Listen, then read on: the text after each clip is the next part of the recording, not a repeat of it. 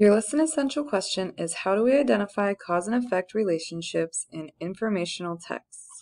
So this week we'll be looking for connections in informational texts and the connection that we're looking for is cause and effect.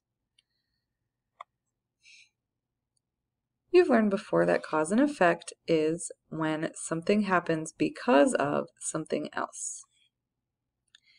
The effect is what happens.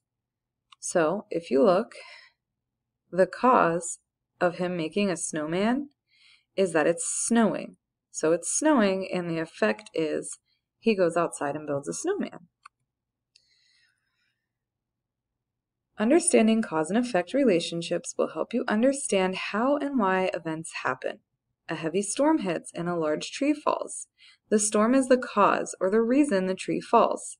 The fallen tree is the effect or what happens as a result of the storm.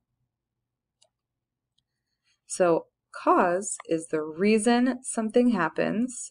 Cause is the reason. The effect is the result. The connection between these two events is an example of a cause and effect relationship. Understanding cause and effect can help you see how events and ideas are related. Writers often use words such as because, if, then, since, so, therefore, and as a result to signal and explain a cause and effect relationship. So as we're reading this week, we're going to be looking for some of those words. Let's look at the cartoon.